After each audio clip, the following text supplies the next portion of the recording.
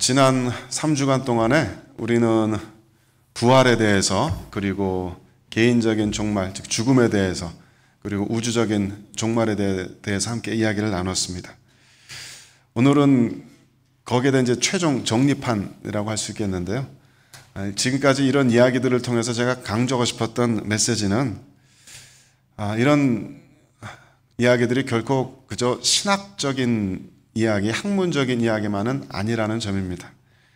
저는 이런 주제에 대해서 공부하고 배워가면서 이런 하나님의 말씀, 이런 메시지들이 지금 나의 삶을 얼마나 놀랍도록 변화시킬 수 있는지, 지금 오늘 하루의 나의 삶의 의미를 얼마나 놀랍도록 새롭게 조명하여 주는지, 예, 그것을 좀 배웠습니다. 그래서 그런 메시지를 여러분과 함께 좀 나누고 싶었습니다. 제가 느끼기에는 최근 몇 년 동안에 길게 보면 한 10년 정도일까요? 이런 주제에 대한 책들이 엄청나게 쏟아져 나오고 있고 또 많은 미디어로도 이런 신학적인 주제들이 소개되고 있습니다. 제가 보기에 그 중에서도 참 잘 만들었다 싶은 웹사이트가 하나 있는데 영어가 편하신 분들은 꼭 한번 방문해서 여기에 있는 많은 비디오 클립들을 좀 살펴보시면은 성경 전체를 이해하는데 또 기독교를 이해하는데 굉장히 큰 도움이 되실 겁니다. bibleproject.com이라는 웹사이트입니다. 여기에 많은 동영상들이 올라 있고 또 주제별로 이렇게 그 비디오들을 모아놨는데요. 그 중에서 Heaven and Earth라고 제목이 되어 있는 동영상 클립 보시면은 제가 지금 지난 3주 동안에 했던 이야기를 고스란히 한 6분, 7분 정도 비디오로 압축해서 설명해 놓은 것을 볼 수 있습니다. 저도 처음에 그 비디오 보고 깜짝 놀랐습니다. 어쩜 이렇게 제가 평소에 설교하던 거를 그대로 너무나 잘 정리를 해놔서 이렇게 얘기할 수 있었을까. 한편으로 아 이렇게 6분 7분이면 정리되는 얘기를 나는 뭐 이렇게 길게 할까 그런 생각도 들었는데 그만큼 너무 재밌게 너무 잘 요약된 그런 비디오입니다. 이런 관점을 가진 이들이 공통적으로 쓰는 표현이 있습니다. 어, Heaven and earth is interlocked and overlapped. 아마 여러분들도 제가 수요배 시간이나 설교 시간에 이런 표현을 사용하는 것을 기억하신 분도 계실 겁니다. 하나님의 나라는 천국은 지금 우리들이 살고 있는 이 세상과 인터락되어 있다. 연동되어 있다. 그리고 오버랩되어 있다. 겹쳐져 있다. 그래서 그 제가 아까 말씀드린 바이블 프로젝트닷컴의 저 비디오에서는 저 heaven이라는 하나님의 space와 earth라는 우리가 살고 있는 이 space가 저렇게 분리되어 있다가 예수 그리스도 안에서 점점 겹쳐지고 그것이 나중에 완전히 합쳐지는 과정 가운데 있다라고 성경 전체 이야기를 소개하고 있습니다. 이것을 다시 표현하자면은 예수 그리스도의 재림 이후에 완성될 그리고 예수 그리스도의 재림 이후에 우리가 살아가게 될 그 새로운 시대, 새로운 세상이 이미 우리들 곁에 혹은 우리 안에, 우리 위에, 우리가 함께 있다라는 얘기가 될 것입니다. 다시 말해서 하나님 나라는 이미 우리 곁에 우리와 함께 있습니다. 하나님 나라는 완성된 천국은 결코 먼 미래에 있어서 우리와 동떨어진 그런 세상의 이야기가 아닙니다.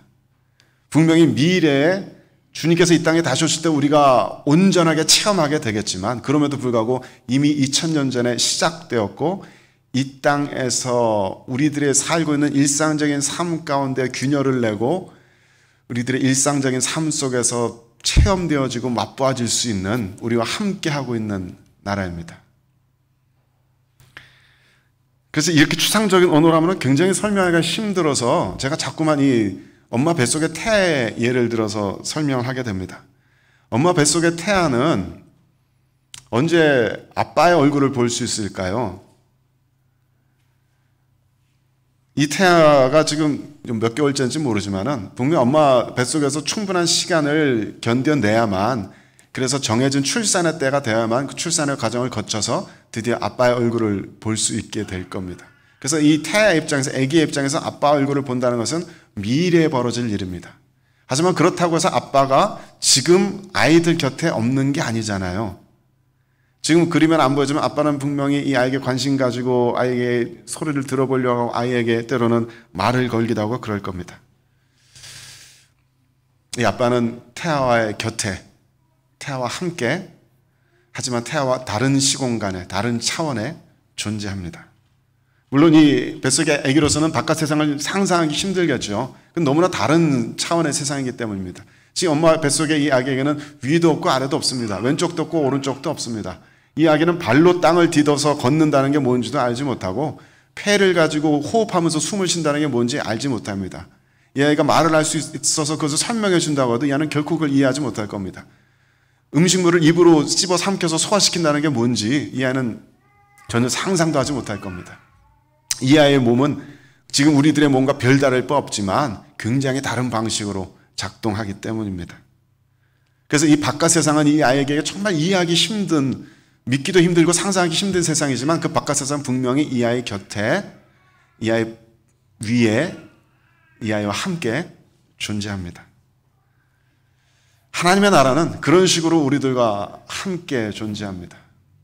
그래서 성경적인 표현으로 풀자면 이렇게 말할 수, 말할 수 있습니다. 같이 읽어보겠습니다. 시작. 두세 사람이 내 이름으로 모인 곳에는 나도 그들 중에 있느니라. 예수님께서 약속처럼 하신 말씀입니다. 두어 사람이 예수 그리스도로 이름 아래 모인 그 모임 안에는 지금 우리들의 이 모임 가운데에는 우리가 이해할 수 없는 신비로운 방식으로 예수 그리스도께서 우리 가운데 함께 계십니다. 우린 이것을 다 이해하지 못합니다. 도대체 어떻게? 이건 마치 예수 그리스도께서 어떤 뭐 귀신 같은 혼령 같은 그런 그런 차원에서 우리가 같이 있다는 얘기처럼 들리기도 하고 예수님의 어떤 추억이 예수님의 정신이 우리와 함께 있다는 얘기처럼 들리기도 합니다. 도대체 이것이 무엇을 의미하는지 지금의 우리로서는 그것을 다 파악할 수 없습니다. 하지만 분명한 것은 문자들 주님께서 약속하신 말씀대로 우리들의 이 모임 가운데 예수 그리스도께서는 지금 함께하고 계신다라는 것. 조금 더 시적인 표현으로 똑같은 이야기를 하자면 우리가 잘 아는 찬송가 438장에 이런 표현이 될 겁니다. 높은 산이나 거친 들이나 초막이나 궁궐이나 내 주 예수와 함께하는 그곳이 하늘나라, 천국이다. 하나님의 나라다. 어디로 가든지 무엇을 하든지 그 시간과 장소는 상관없습니다. 주님께서 우리들과 우리들이 살아가는 이 지상에서의 삶과 주님, 주님의 임자심이 함께 할 수가 있습니다. 하나님의 나라는 그 미래 천국은 이런 식으로 우리들의 삶 가운데 균열을 내고 우리들의 삶 가운데로 비집고 들어오시고 우리들에게 체험될 수 있습니다. 그래서 제가 계속 강조해서 반복해서 말씀드리고 싶은 말은 이겁니다. 우리가 어디서 부활하게 될 것이냐? 우리가 예수 그리스도 부활 이후에 계속 살아가게 될 그곳이 어디냐? 바로 이곳이라는 얘기입니다. 우리가 부활하게 될 것은 우리들이 그러니까 인류 역사가 향하고 있는 그 궁극적인 종착역은 우리들이 지금 바라보고 있는 이 하늘과 이 땅, 이 도시와 전혀 다르지 않습니다. 크게 다르지 않습니다. 물론 본질적인 변화가 일어나겠죠. 하지만 분명히 이런 건물, 이런 도시, 이런 세상일 겁니다. 이것은 우리가 이 땅을 버리고 이 땅의 모든 문제를 버리고 하늘 위로 올라가서 그 하늘 위에서 주님과 영원히 살게 될 거라는 신학과 굉장히 다른 신학입니다. 그래서 그런 신학이 가져다 주는 세계관 가치관과 전혀 다른 세계관 가치관을 우리들에게 선물해 줍니다. 이런 관점 때문에 우리들의 일상적인 삶의 의미가 완전히 달라질 것이고 이 사회와 이 도시의 의미들이 우리들에게 전혀 다르게 다가오게 될 것입니다. 그 이야기를 나누고 싶은 겁니다. 오늘은 이 요한계시록 21장 말씀 통해서 지금까지 나눴던 이런 이야기가 과연 그러한가 한 번 더 상고해 볼 수 있게 되길 바랍니다. 제가 참 사랑하는 말씀이어서 수, 십 번, 수백 번 읽고 또 읽는 말씀인데 정말 글자 한 글자 한 글자 같이 나누고 싶은 마음이 굴뚝 같지만 오늘은 그 중에서 이 뒷부분 읽고서 중요한 부분만 포인트만 몇 가지 함께 좀 나누려고 합니다. 어, 오늘 읽진 않았지만 1절 말씀 같이 한번 읽어보겠습니다. 시작. 또 내가 새 하늘과 새 땅을 보니 처음 하늘과 처음 땅이 없어졌고 바다도 다시 있지 않더라. 어, 많이들 잘 아시겠습니다만은 이 요한계시록은 사도 요한이 있었습니다. 사도 요한은 어렸을 때 예수님을 만났죠. 아마도 10대 때 예수님 만났을 거라고들 다들 추측을 하곤 합니다. 제자들 중에 가장 나이가 어렸을 겁니다. 청소년 시기에 예수님 만난 겁니다. 그리고 예수님께 매료되어서 예수님을 쫓아다니면서 예수님의 십자가와 부활과 승천과 그 모든 것을 바로 곁에서 지켜보았습니다. 그리고 일평생 예수님에 대해서 그 하나님 나라의 복음을 전하면서 살았고 다른 제자들 모두 다 순교했지만 이분은 하나님의 특별하신 은혜로 순교하지 않고 제일 제자들 가운데 사도들 가운데 오래 살아남아서 어, 정말로 많은 저작들과 많은 가르침을 교회에 남겨주었습니다. 이 요한계시록은 아마도 사도 요한이 90대 나이에 되어서 90대 가까운 나이가 되어서 굉장히 어, 나이 든 그런 이후에 쓴 책일 거라고 합니다. 생각해보면 참 복받은 사람이 아닌가 싶어요. 일평생 예수님과 만난 그 기억을 가지고 예수님을 전하면서 살다가 말년에는 다른 사도들 다 순교했지만 그 지중해 반모섬에 이렇게 갇혀서 늘 지중해 바다 바라보면서 하늘 바라보면서 그, 그동안 하나님께서 보여주셨던 성령께서 보여주셨던 그 수많은 환상과 계시와 사건과 묵상 속에서 깨달음 같은 것들을 마음속으로 계속 이렇게 음미하던 가운데 어느 날 주일 아침에 하나님께서 이 세상의 종말과 심판에 대한 부활 이후의 세상에 대한 놀라운 환상과 계시를 보여주신 겁니다. 그가 이 환상을 보았을 때 새 하늘과 새 땅을 보았다라고 썼습니다. 이 세상이 완전히 새로워져 있는 것입니다. 그리고 처음 하늘과 처음 땅이 없어졌다라고 되어 있는데 원어를 그대로 읽으면 여기서 처음이라는 단어는 프로토스라는 단어입니다. 우리들에게 좀 익숙한 단어죠. 영어에 프로토타입 할 때 프로토라는 단어가 여기서 나왔습니다. 어떤 완성된 물건을 만들기 이전에 시제품을 먼저 만들 때 프로토타입이라고 합니다. 원형, 원본이라고 번역될 수 있는 그런 단어죠. 예수 그리스도의 부활, 예수 그리스도의 재림 이후에 우리가 영원토록 살아가게 될 실제의 나라가 있고 지금의 우리들의 이 땅과 하늘은 그 이전의 프로토타입, 원형으로서, 원본으로서 존재하는 그런 세상이다라는 의미일 것입니다. 그런데 이 21장 1절 말씀의 표현들을 가만 잘 보면은 고린도 후서 5장 17절의 말씀과 놀랍도록 비슷합니다. 같이 읽어봅시다. 시작. 그런 중 누구든지 그리스도 안에 있으면 새로운 피조물이라. 이전 것은 지나갔으니 보라 새 것이 되었다. 이 앞장 말씀에서는 처음 하늘과 처음 땅이 passed away 라고 되어 있죠. 새 하늘과 새 땅이 있고 처음 하늘과 처음 땅은 passed away 했다. 여기서는 그리스도 안에 있으면 누구든지 새로운 피조물이 되어서 이전 것은 패스 어웨이 하게 된다. 이렇게 쓰고 있습니다. 새 하늘과 새 땅이 예수 그리스도 안에서 구원받고 거듭난 성도와 대조됩니다. 그리고 처음 하늘과 처음 땅이 예수 그리스도 안에서 죽어진 옛사람과 대조가 됩니다. 우리도 모두가 경험하는 것처럼 예수 그리스도 만나기 이전에 우리가 완전히 이 땅에서 사라지고 우리가 완전히 전혀 다른 존재로 태어난 것이 아닙니다. 예수 그리스도를 만나기 이전의 옛사람과 지금의 우리들 가운데는 연속성이 있습니다. 하지만 본질적인 변화가 일어난 것이죠. 성경은 그런 식으로 새 하늘과 새 땅을 설명합니다. 지금 살고 우리가 살고 있는 이 하늘과 이 땅이 완전히 사라지고 전혀 다른 행성이 등장하는 것이 아니라 전혀 다른 공간이 등장하는 것이 아니라 이 피조 세계의 본질적인 변화가 일어나서 새 하늘과 새 땅이 되는 것입니다. 2절 말씀도 함께 읽어보겠습니다. 시작. 또 내가 봄에 거룩한 성 새 예루살렘이 하나님께로부터 하늘에서 내려오니 그 준비한 것이 신부가 남편을 위하여 단장한 것 같더라. 이 1절, 2절 표현들을 통해서 우리는 예수 그리스도 재림 이후의 세상에 대해서 많은 것들을 유추할 수 있는데 1절에서는 새 하늘과 새 땅이라고 표현했고 2절에서는 새 예루살렘이라고 번역했습니다. 새 하늘과 새 땅 이퀄 새 예루살렘입니다. 새 예루살렘은 그리고 물론 신부가 남편에서 단장한 것 같다라는 표현에서 보는 것처럼 교회를 상징합니다.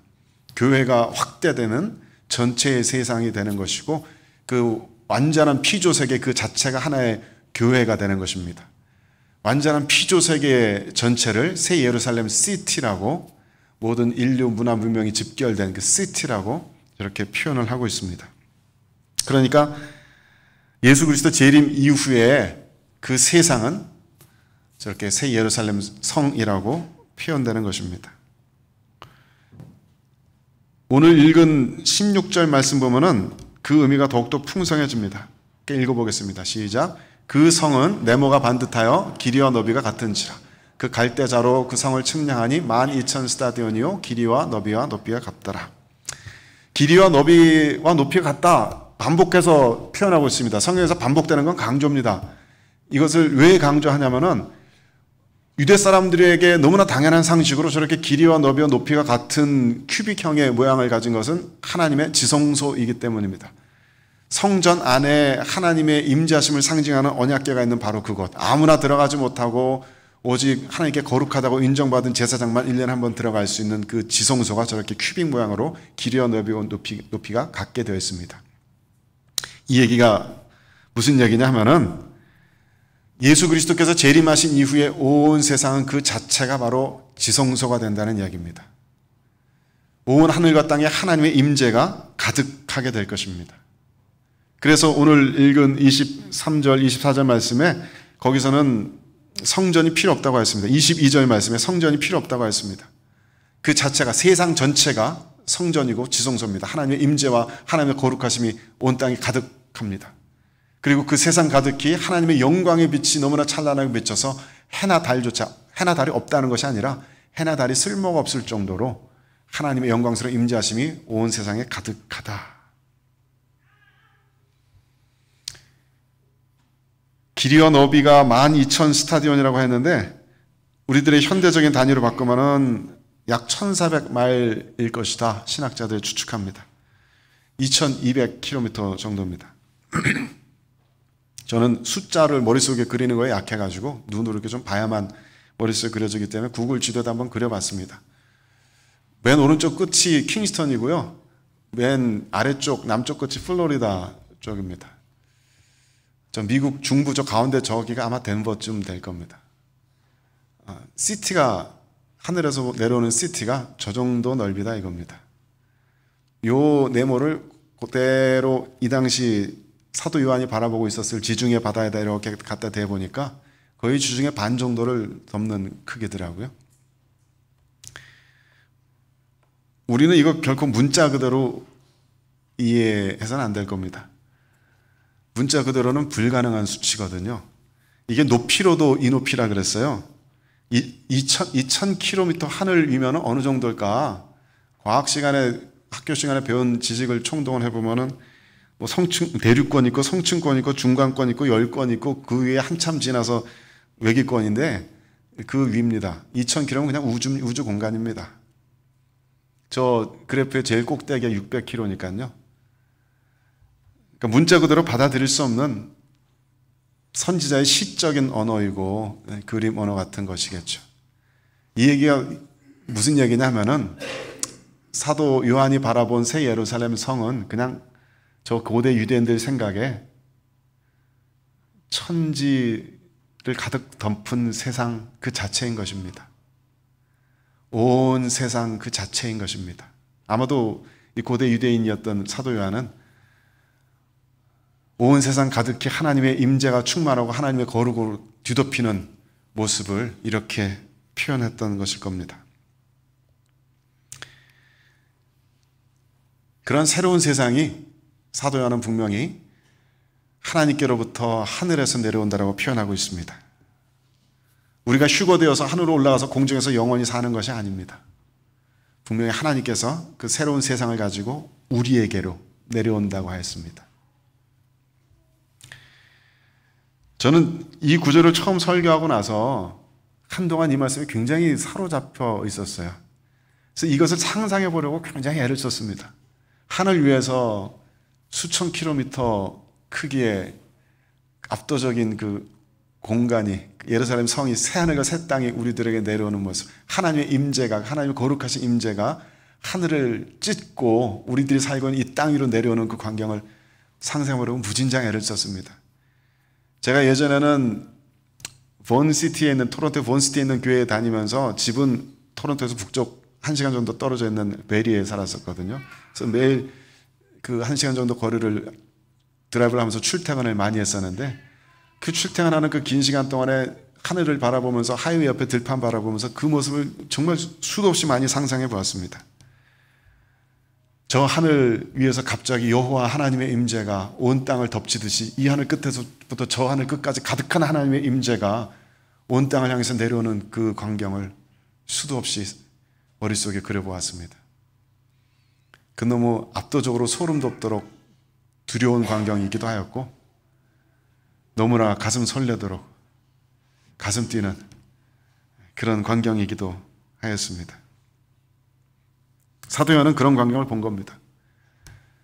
지성소의 휘장이 찢어지고 하나님의 거룩하신 임재가 세상을 향해서 쏟아져 나오게 되는 것처럼 언젠가 하나님께 정하신 그날에 갑자기 하늘이 찢어지고 하나님의 임재가 온 세상 가득히 모든 육체가 눈으로 볼 수 있도록 내려오게 되는 겁니다. 근데 반복적으로 이야기하지만 이렇게 온 피조 세계가 하나님의 임재하심으로 하나님의 거룩하심으로 가득 뒤덮이게 되는 이 일은 결코 먼 미래에 속한 일이 아니다. 그래서 우리들과 굉장히 동떨어진 일이 아니다. 미래에 우리들이 완전히 온전하게 fully 경험하게 될 일이지만 그것은 이미 2000년 전에 시작되었고 지금 우리들의 일상적인 삶 속에서 계속해서 이곳저곳에서 경험될 수 있는 일들이다. 그 얘기를 하고 싶은 겁니다. 제가 제일 처음 이것을 경험하게 된 것은 언젠가 수요배 때도 말씀드린 것 같은데 니카라가 단기 선교를 갔을 때입니다. 니카라 그 세계에서 두 번째로 가난하다는 그 나라에서도 가장 가난한 사람들이 모여 사는 그 무허가 천막촌에 일주일 동안 우리 청년들과 성경 학교를 열고 그곳의 아이들과 굉장히 친해졌습니다. 그리고 모든 일정이 마치고 마지막 날 마지막 성경 학교 마치고 해는 뉘어뉘어지고 그 가난한 동네 아무것도 없는 공터에서 애들 공 하나 가지고 깔깔대면서 우리 청년들과 뛰놀고 우리 어른들은 바람 선선하게 불어오는 저녁 나무 그늘에 앉아서 그 모습을 바라보고 있을 때 전 갑자기 제 눈앞이 흐릿해지면서 하나님의 임재가 그곳에 충만한 것을 충격적으로 느꼈습니다. 그래서 뭐라고 말로 설명하기 힘든 경험이었는데요. 그때 저는 처음 직관적으로 깨달았어요. 천국이 우리들이 살고 있는 이 세상 가운데서 경험되는 것이 가능하구나. 천국이 우리들이 사는 이 삶 가운데 이루어진다는 것이 가능하구나. 천국이 우리들의 부활의 시대에 이루어진다는 것이 무슨 이야기인지 그때 몸으로 절감하였습니다. 우리들이 살아 움직이며 행하는 모든 일들이 우리들이 거기 가서 지은 그 아주 허술한 교회와 학교와 이런 것들이 여전히 하나님 나라에 받아들여지고 영원의 세계에 받아들여져서 그 모든 피조 세계가 우리들의 손과 손으로 땀 흘려서 지은 모든 건물들이 영광의 빛을 발하면서 하나님의 거룩하신 속성을 반영한다는 게 무슨 이야기인지 그때 처음 깨닫게 되었습니다. 우리들이 살아가는 이 땅에 하나님 나라가 이루어진다는 것이 이런 것이겠구나. 한때 쥐킴 컨퍼런스를 굉장히 열심히 다녔어요. 그 찬양 인도하러도 가고 또 청년들과 성도들과 함께 이렇게 많이 참석을 했었습니다.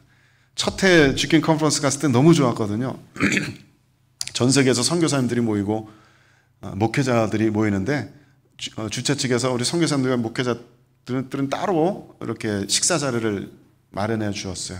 학생들은 수천 명의 학생들 따로 이렇게 밥 먹고 교육자들, 목회자들, 선교사님들은 따로 식사를 준비해 줘서 그곳에서 함께 이렇게 교제 나눌 수 있는 그런 자리를 주셨어요. 근데 저는 원래 사람과 이렇게 빨리 쉽게 친해지는 편도 아니고 낯선 사람도 있는 곳을 굉장히 불편해하는 성격인데 그곳은 이상하게 너무 편하더라고요. 나와 같이 인생을 주님께 드려서 헌신된 그분들이 모여 계신 곳이에요. 하나님께 그리스도께 헌신된 사람들이고 전부 하나님을 사랑하는 사람들이에요. 뭐라 딱히 뭐 자기소개하지 않아도 인사하지 않아도 그냥 서로가 너무 좋아요. 서로가 너무 믿음직스럽고 서로가 기뻐요. 서로가 가지고 있는 아픔을 말 안 해도 알겠고 서로 가지고 있는 소망과 희망들을 말 안 해도 알겠어요. 그런 가족들이 나, 나뿐만 아니라 전 세계 열방이 흩어져 있다가 이렇게 한 자리에 모인 것을 보니까 마음이 너무 뿌듯하고 너무 든든해요. 누가 말하지 않아도 서로 뭐 인사하지 않아도 이름도 몰라도 서로 막 챙겨주기 바쁩니다. 저기 뭐 커피 있어요. 이거 드셔보셨어요? 이거 드세요. 애기들이 함께 모여가지고 누가 뭐 이렇게 뭐 일부러 하지 않아도 거기서 자연스럽게 그냥 하나의 교회가 만들어지는 것처럼 아이들끼리 모여가지고 그 중에 대장 아이가 나오고 따라오는 아이들이 나오고 자기들끼리 서로 너무 재밌게 놀면서 같이 이렇게 아이패드 가지고 비디오 보면서 너무 한 가족처럼 그렇게 놀아요.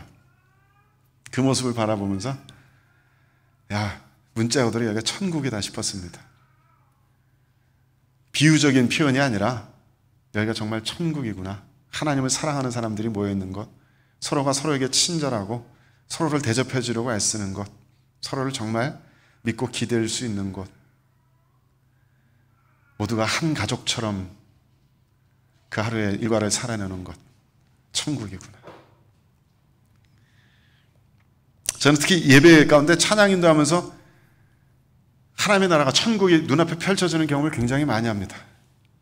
찬양하는 가운데 성도분들이 정말 하나님의 임재하심에 심취해서 막 인상 쓰면서 손 들면서 땀 뻘뻘 흘면서 뜨겁게 찬양하는 그 모습을 보면서 저도 더욱더 예배 가운데 깊이 들어가게 됩니다. 찬양할 때 그 성도분들의 얼굴에 밝게 빛나는 그 빛들이 가득할 때 저는 문자고들이 정말 하나님의 임재가 성도들의 모임 가운데 충만한 것을 온몸으로 느끼게 됩니다. 하나님의 나라는 그 완성된 천국은 하나님의 임재는 그 거룩하심은 우리들의 일상적인 삶을 뚫고 언제든지 이 땅 위에서 체험됩니다.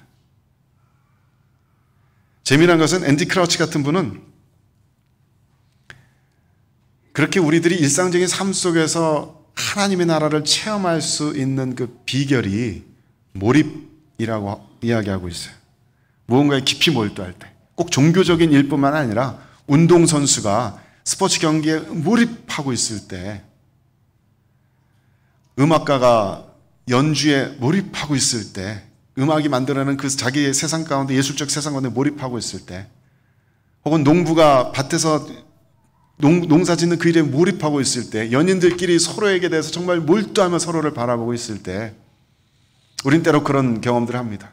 시간이 멈춘 것 같아요. 시간이 이상하게 흘러가요. 한 5분 지난 것 같은데 1시간이 지나 있고 몇 시간이 지나 있어요. 나 자신에 대한 자의식이 전혀 느껴지지 않습니다. 몸이 아팠었는데 그 몸이 아픈 것조차 전혀 의식이 되지 않습니다. 몸이 좀 피곤하고 찌뿌단 것 같았는데 전혀 의식이 되지 않습니다. 내 안에 아무런 죄된 마음도 죄된 욕구도 솟아나지 않는 것 같고 그야말로 모든 것이 사라지고 나와 그 대상밖에 안 보이는 것 같아요. 앤디 크러치는 그게 그런 순간들이 바로 천국이 우리들 삶 가운데로 스며들어온 순간이고 우리들이 이 시, 공간에 제한되어서 갇혀서 늘 살아가는 우리가 시간을 초월한 그 천국의 세상을 맛볼 수 있는 순간들이다. 라고 이야기합니다. 더 재미난 것은 어떤 심리학자가 이거 이름이 참 읽기가 힘든데요. 미할 칙산트 미하일이라는 것 같아요. 맞게 제가 읽는 건지 모르겠습니다. Finding Flow라는 심리학자입니다 어, 크리스찬 뭐 이런 쪽이 아니고요. 이런 분이 이 책에서 그런 순간을 심리학적 용어로 flow라고 어, 규정했습니다. 그래서 재미나게 이것을 분석했는데 이 flow의 경험은 아주 challenge 되는 일을 저 수직으로 된 쪽이 어, challenge 되는 그 강도입니다. 위로 올라갈수록 되게 어려운 일, 밑으로 내려갈수록 쉬운 일. 오른 그 수평선은 skill입니다. 내가 가지고 있는 기술을 기술이 별로 필요치 않는 순간에서부터 제일 많이 필요로 되는 순간까지. 그래서 가진 기술도 없고 그렇게 challenge 되는 일도 아니면은 그때 느껴지는 체험은 apathy, 무감동입니다. 별로 아무런 별 감동이 없습니다. 그냥 그냥 이렇게 기술은 뛰어난데 뭐 전혀 어렵지 않은 일을 하게 된다. 그럼 boredom, 지루함이 느껴집니다. 기술은 어, 역시 기술이 더 훨씬 더 뛰어나고 어렵지 않은 일을 하면 굉장히 relax 되게 되고 조금 더 어려운 일을 하면 좀 controlling 하게 되는 그런 경험이 있게 됩니다. 기술도 굉장히 뛰어난 사람이 굉장히 challenge 되는 일에 몰두할 때 flow의 경험을 하게 됩니다. 소울이라는 애니메이션 혹시 보신 분 계신지 모르겠는데 거기 그 애니메이션 다루는 주제가 바로 이거죠. 저도 굉장히 감동 깊게 굉장히 인사풀한 영어로 봤습니다. 영어식 표현대로 요즘 젊은이들 많이 쓰는 것 같은데 in the zone, zone에 들어가는 그거, 그 경험입니다. 심리학자는 flow라고 이야기했습니다. 다시 말해서 제가 말씀드리고 싶은 것은 그 미래의 천국은 지금 우리가 느끼는 것처럼 시간이 이렇게 흘러가지도 않고 모든 것이 썩지도 않고 죄와 사망이 없는 그 미래의 천국은 우리들의 일상적인 이 삶 가운데 경험이 가능하다. 우리는 그 미래를 지금 여기서 살아나갈 수가 있다. 그러니까 정말 우리들에게 필요한 것은 성령을 영접한 우리 성도들에게 정말 필요한 건 사실 육신의 부활 뿐인 겁니다. 성령을 영접한 성도들은 이미 내면적으로 그런 체험들을 합니다. 깊은 기도 가운데, 깊은 예배와 찬양 가운데, 말씀 묵상에 깊이 빠져 있을 때 서로 사랑의 수고에 온 정성을 다하고 있을 때 우리들은 내면적으로 그런 경험들을 해요. 죄책감이 완전히 사라지고 마음이 사랑으로 평강으로 감사로 기쁨으로 가득 넘치는 그런 체험들을 합니다. 사람들이 그냥 지나가 다니는 사람들도 너무 사랑스러워 보이고 이 지나다니는 한 사람 한 사람에서 기도하고 싶어지는 그럴 정도로 사랑이 내 안에서 흘러 넘치는 그런 순간들이 있습니다. 이 사람들 위해서 무엇을 퍼줘도 아깝지 않은 그런 순간들이 있습니다. 내 자신의 아픔, 내 자신의 불안, 걱정, 가득했던 것들이 언제 어디로 사라졌나 싶을 정도로 내 영혼이 가벼워서 하늘 위로 훨훨 날아가는 것 같은 그런 순간들이 있습니다. 가끔 새벽 기도 마치고 제가 위에 발코니에서 기도하다가 기도를 마치고 눈을 딱 뜨면은 이 예배당 전체가 한눈에 내려 보이는데 이 예배당이 너무나 거룩하게 너무나 영광스럽게 보이는 그런 순간들이 있어요. 여기 막 빛이 가득한 것 같아요. 천, 천군 천사들이 이곳에 가득한 것 같아요. 너무나 아름다운 뭐 유럽의 그 어떤 유명한 대성당에도 뒤지지 않는 그런 거룩한 모습으로 이 예배당이 보일 때가 있습니다. 그런 날이면 괜히 집에 가서 마음도 착해져 가지고요. 그런 날이면 괜히 집에 가고 아내를 위해서 이제 라떼 한 잔 정성스럽게 해가지고 샐러드 정성스럽게 만들라고 일어나 아침 먹어 정성스럽게 대접을 가끔 해줍니다. 어, 괜히 마음이 너무 착해지는 거예요. 마음에 사랑이 가득해지는 거예요. 마음이 너무 행복한 겁니다. 제가 베리에서 토론토 왔다 갔다 하면서 그런 생각을 했어요. 처음 한두 해 동안에는 그 한 시간 남짓 출퇴근하는 게 너무 지루하고 힘들었습니다. 가뜩이나 허리도 안 좋은데 허리도 너무 아픈 것 같고 몸도 너무 피곤하고 목 디스크까지 오는 것 같고 너무 힘들었어요. 그냥 잠깐 이렇게 눈 감았다 딱 되면 교회 딱 도착했으면 얼마나 좋을까 그런 생각한 게 한두 번이 아닙니다. 그러다가 이 부활에 대해서 배우게 되었고 그 부활이 바로 우리가 살고 있는 이 땅에서 일어나게 될 것이다. 이 땅 위에서 하나님의 나라가 완전히 완성되게 될 것이다. 이 창조세계 자체가 구원받게 될 것이다. 이런 것을 배우면서 그 긴 드라이브 시간 동안 자꾸 그것을 생각하면서 떠올리게 되었습니다. 그래서 만약에 진짜로 이 땅 위에서 이런 세계 속에서 이 세계 속에서 부활이 일어나고 하나님의 나라가 완성된다면 그때는 나는 나도 여전히 베일리에서 본까지 왔다 갔다 해야 되겠구나. 어 그러면은 예수님처럼 시공간을 초월한 몸이 될 테니까 나도 그때 중간에 정말 내가 원하는 대로 눈 감았다 딱 뜨면 교회 도착하는 것도 가능할 수도 있겠구나. 그런데 곰곰이 생각하다 보니까 정말 그런 시대가 와도 내가 이 긴 드라이브 시간을 지루해하고 힘들어하고 실증 내서 빨리 그곳에 가고 싶어 할까? 그런 생각이 들더라고요. 허리가 아프지 않고 몸이 피곤하지 않다면 나는 오히려 드라이브 하면서 그 들판의 하이웨이의 나무들과 풀들을 조금 더 사랑스러운 시선으로 바라보면서 그 드라이브 시간을 즐길 수 있지 않을까? 그 드라이브 하면서 때로는 음악 듣고 때로는 기도하고 때로는 멍하니 아무 생각 없이 운전에만 집중하는 그런 시간들을 더 충만하게 누리면서 감사하고 기뻐할 수 있지 않을까? 나의 연약한 육신의 문제만 해결된다면 나는 얼마든지 그 천국을, 그 미래를 지금 이 순간 살아낼 수 있지 않을까? 그것을 깨닫게 됐어요. 그리고 나니, 그리고 나서부터 이 출퇴근 시간의 의미가 완전히 달라졌습니다. 그래, 미래 그렇게 살 수 있다면 지금 해보자. 달리면서 들판들을 더 유심히 바라보게 되고, 새들과 계절에 따라서 풍경들이 바라, 달라진 것을 감탄의 시선으로 바라보게 되고, 그 시간들이 저에게 너무 즐거운 시간이 됐어요. 지금도 킹스턴에서 토론토 왔다 갔다 하는 게 저는 별로 고통스럽지가 않습니다. 그 시간이, 그 시간들을 이렇게 즐거워할 수 있게 됐어요.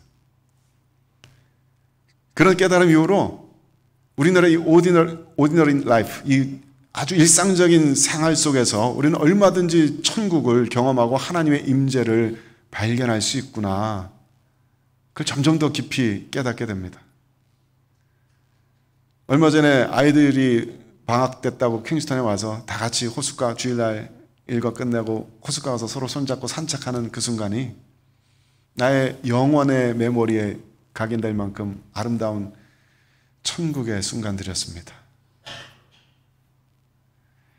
때로는 예배 하루 종일 준비하고 땀 흘려서 찬양하고 말씀 전하고 집에 돌아가는 길에 조용히 숨을 고르면서 천국을 경험합니다. 하나님의 임재를 경험합니다. 때로는 머리 복잡한 일이 생기고 힘든 일이 생길 때에도 아, 고민하고 걱정해야 될 일이 생길 때에도 나의 삶을 한 발자국 뒤에서 바라보면서 야, 내가 이렇게 고민하고 아파하고 힘들어하는 이것도 정말 이 짧지 짧은 지금에만 허락된 순간들이겠구나. 나의 이 아픔들이 고민들이 얼마나 아름다운가 그것을 새삼스럽게 생각해 보게 됩니다. C.S. 루이스가 그랬거든요. 어떤 소설책에서 그렇게 썼는데 천국에 도착한 사람이 소설 속에서 천국에 도착한 사람이 자신의 지나온 삶을 돌아보니까 자기는 처음부터 천국에 속해 있더래요. 자기가 걸어왔던 모든 삶이 천국의 길이더래요. 지옥에 도착했던 사람이 자신의 삶의 뒤를 돌아보니까 처음부터 자기는 지옥이었답니다. 그 삶의 모든 것이 다 지옥이었던 거야. 하나님의 통치 가운데 있는 천국 가운데 살아가는 사람들은 자신의 모든 상처와 아픔과 외로움과 고통들을 다 감사로 기쁨으로 아름다움으로 받을 수 있게 된 겁니다. 거꾸로 얘기해서 지금 내가 나의 삶을 돌아보고 내가 지금 나의 삶을 돌아보면서 이것이 감사함으로 기쁨으로 받아들여질 수 있다면 우리는 천국에 속한 자들입니다. 우리는 그러한 상태에서 그러한 세상을 영원히 살게 될 거예요. 이 오디너리 라이프 속에서 우리는 천국을 살아낼 수 있는 겁니다. 물론 이런 내면적인 천국에만 만족할 수 있는 것은 아닙니다. 저는 이 미래의 그 부활의 시대를 상상해 볼수록 그 하나님의 율법이 완전하게 성취되는 그런 나라를 상상해 볼수록 그 나라가 얼마나 아름답고 고귀한가, 얼마나 고결하고 영광스러운가, 너무나 감탄하면서 사모하게 됩니다. 그래서 자꾸만 그 미래 시대, 미래 세계를 기준으로 지금의 우리들의 이 시대를 바라보게 돼요. 우리들의 공동체들을 바라보게 됩니다. 이 도시를 바라보게 됩니다. 그리고 무엇이 다르지? 무엇이 아직 모자라고 무엇이 부족하지? 그것을 자꾸만 생각해 보게 됩니다. 바로 그 부분이 미래에 우리가 경험하게 될 완전한 천국과 지금 우리들이 살아가는 이 도시, 이 삶 속에서의 다른 그 점들이 바로 우리가 일해야 될 지점들임을 점점 더 배워나가고 있어요. 부활에 대한 믿음이 없다면 우리는 이 사회에 대해서 세상에 대해서 너무나 쉽게 절망할 겁니다. 들려오는 뉴스들 보면 늘 암담합니다. 어쩌면 세상에 이토록 이렇게 폐악하고 이기적이고 자기 동물적인 본성으로 가득한 사람들이 많을까? 어쩌면 세상이 이처럼 폭력적이고 죄와 악으로 뒤덮여 있을까? 절망스러울 때가 한두 번이 아닙니다. 도대체 이 세상을 이 우리 기독교회가 고치고자 한다면은 치유하고자 한다면 도대체 어디서부터 고쳐야 하는 것일까? 어디서부터 손을 대서 이 사회가 조금 더 나은 방향으로 발전해 나갈 수 있는 것일까? 암담하기가 이루 말로 할 수가 없습니다. 하지만 우리는 미래를 믿는 사람들입니다. 우리가 그 천국의 궁극적인 소망을 두고 있다는 얘기는 우리는 이상적인 사회에 대한 믿음이 있다는 이야기입니다. 이상적인 사회에 대한 너무나 구체적인 그림들이 우리들 마음속에 있다는 얘기입니다. 우리들의 가정이 어떠해야 하는지, 이 교회 공동체가 어때야 되는지, 이 사회가 어때야 되는지 등등 그 그림들이, 그 원리 원칙들이 분명하게 우리들 머릿속에, 마음속에 있다는 것입니다. 그래서 우리는 절망하지 않습니다. 아무리 암담해 보여도 언젠가 동, 동독과 서독이 그 가로막힌 장벽이 갑자기 하루 아침에 허물어졌다는 그 뉴스가 들려와서 온 세상 사람들이 깜짝 놀라는 것처럼 이 절망스러운 세상 가운데서도 갑자기 하나님께서 우리들의 역사 가운데 개입하셔서 하늘을 찢으시고 우리들이 살아가는 이 세상 가운데로 오셔서 이 세상의 모든 죄악을 일시에 없애버리는 그날이 올 것임을 우리는 믿기 때문입니다. 그래서 우리는 우리가 해야 할 일들을 하면서 주님 오실 길을 준비합니다. 지금 이 상태 가운데에도 우리가 할 수 있는 일들이 얼마든지 있습니다. 우리들의 가정에서 미움을 없애고 가정에서 우리 다음 세대에게 축복을 물려주면서 이 도시 속에서 서로 이웃들을 섬기고 따스한 도시를 따스한 이 사회를 만들어 갈 수 있도록 우리들이 할 수 있는 일들이 얼마든지 있습니다. 이 교회 가운데에서 우리 가족이 엄청나게 확대되는 그런 경험들을 우리는 얼마든지 맛볼 수 있습니다. 그게 우리 크리스찬들이 살아가는 방식입니다. 먼 미래에 이루어질 그 세상을, 그 시대를 우리들이 살고 있는 이 현재 지금 이곳으로 가지고 와서 그 미래 천국을 증거하는 일. 그것이 우리 크리스찬들이 하는 일입니다. 하나님의 나라는 보십시오. 여기 이렇게 실지합니다라고. 우리들의 이 공동체 가운데 가정 공동체와 이 교회 공동체 가운데 하나님의 나라는 이렇게 실지합니다라고 우리는 증거해야 합니다. 그것이 우리의 소명입니다. 그래서 우리는 그토록 우리들 안에 미움과 우리들 안에 이기적인 마음과 시기 질투와 길을 쓰고 피 흘리기까지 싸워야 하는 것입니다.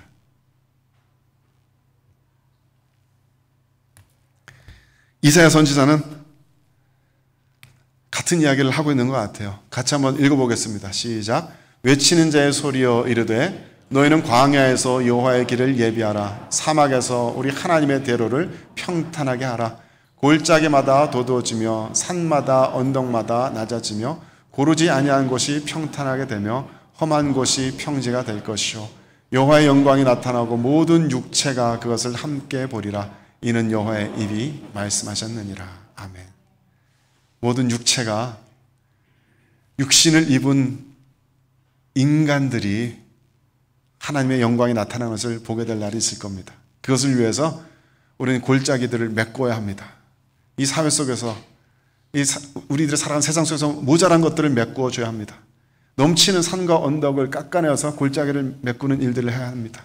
나에게 넘치도록 부어주신 재능과 은사들과 부유함 같은 것들을 낮은 것으로 흘려보내면서 이 세상을 평탄하게 만드는 일들을 해야 합니다. 그것이 주님께서 오실 길을 예비하는 성도들의 삶입니다. 미래에 대한 궁극적인 소망이 더욱더 구체적으로 우리들 마음속에 살아있을수록 우리들의 오늘 하루를 바라보는 우리들의 시각은 완전히 달라질 겁니다. 지금 우리들의 가정과 미래에 이어질 천국 사이에 어떤 차이점이 있는지 유심히 살펴봐 주시기 바랍니다. 내가 공부하는 방식이, 내가 비즈니스 하는 방식이, 내가 어떤 잡을 가지고 일하는 방식이 천국에서 미래의 사람들이 일하면서 살아가는 방식과 무엇이 다를까 유심히 관찰해 주시기 바랍니다. 그 차이점을 좁혀나가야 합니다.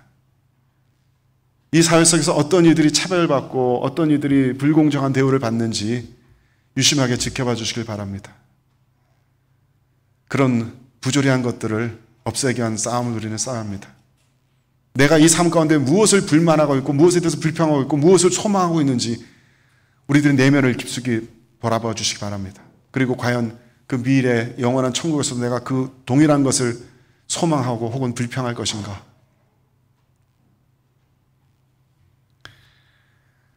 우리 주 예수 그리스도께서 그러하셨던 것처럼 우리들이 이 땅에서 살면서 세상 가운데로 보내심을 받은 데에는 분명한 책임과 소명이 있습니다. 우리 주 예수 그리스도께서 그 삶을 통해서 하나님 나라를 증거하시면서 하나님 나라를 우리들에게 실제로 보여주셨던 것처럼 우리도 역시 그러한 삶을 살아야 합니다. 지난 한 달 동안에 정말로 많은 말씀을 나누었는데 이런 말씀들이 우리 모두의 심령 가운데 기억되고 이해되어지고 또 살아내어질 수 있게 되기를 간절히 바랍니다. 부디 주의 성령께서 이 하나님의 말씀을 우리들에게 더욱더 깨닫게 해주시고 말씀을 우리를 인도해 주시기를 주님의 이름으로 간절히 축원합니다. 함께 기도하겠습니다.